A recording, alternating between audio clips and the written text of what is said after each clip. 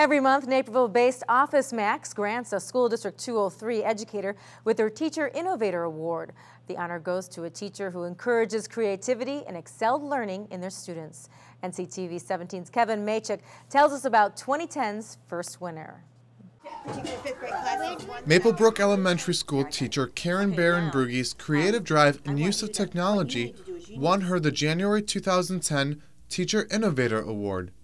Good job, guys. Thank you very much. The art teacher loves coming up with new ways to engage her students in class. She uses the latest technology to come up with projects that are a little different than your traditional artwork. Every year I can mix it up and I can integrate with the teachers in the classrooms and I can try different projects and it's so much fun to explore different materials. Mrs. Barenbrugge has been teaching here at Maplebrook Elementary School for six years. Today she's teaching her students how to create a short animation using Adobe Photoshop Elements. Now what you're going to do is um, take the eye off of all. Her use of technology in the art class is, I think, several steps ahead of what a lot of elementary schools are doing. She says she couldn't do without the two colleagues who nominated her, Karen Buell and Karen Zakela.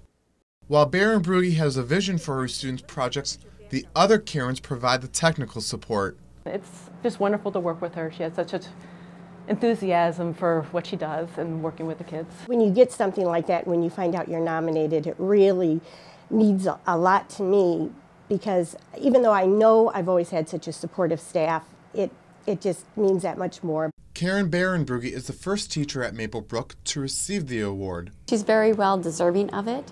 I'm very proud of her. I'm very proud of the staff that recognized her. Reporting from Maplebrook Elementary School, Kevin Machak, Naperville News 17.